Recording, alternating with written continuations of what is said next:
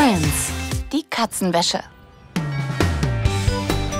Hier ist eine Sonderbestellung, Emma. Einmal Thunfisch-Snacks mit Sardinensoße. Igitt. Danke, Stephanie. Genau pünktlich. Was wird gefeiert? Eine Party für Jewel. Eine Party für deine Katze? Naja, das erklärt jedenfalls die Thunfisch-Snacks. Es ist ehrlich gesagt ein Trick, um sie irgendwie einzufangen. Eine Trickparty? Du weißt, dass sie etwas gar nicht leiden kann.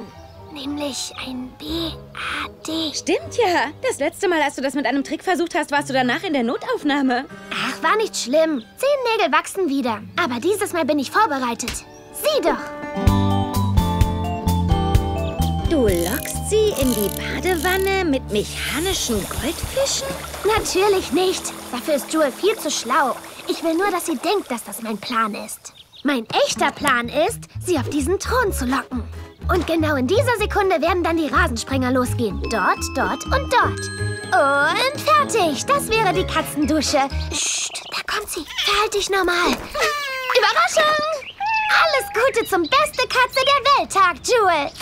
Hurra! Und sieh mal, das da ist für dich.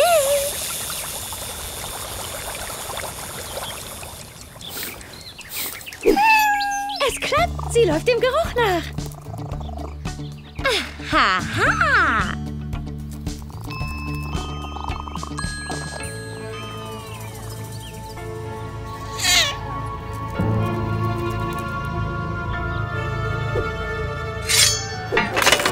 Wow, sie ist nicht drauf reingefallen. Alles gut. Das ist genau das, was ich von ihr erwartet habe. Du hast sie. Ein Punkt für Jewel. Nein, es läuft alles wie geplant.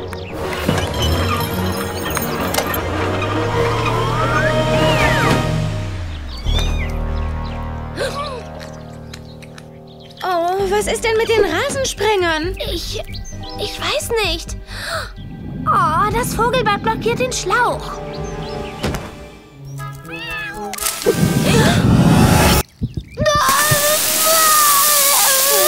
Scheint, als hätte sie es wieder getan. Ach, naja, dann hat wenigstens eine von uns geduscht.